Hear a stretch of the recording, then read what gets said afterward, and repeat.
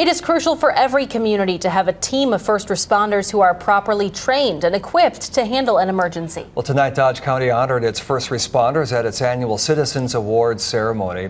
The award started in 2015, recognizing both first responders and civilians who go above and beyond. According to the sheriff, a large portion of Dodge County first responders are volunteers.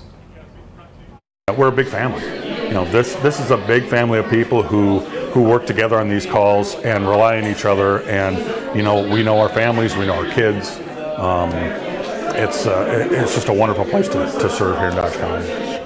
And while everyone honored tonight as a hero, uh, an honorable mention went out to Atlas Brown, an eight-year-old who recognized smoke in his family's house and helped to save his family.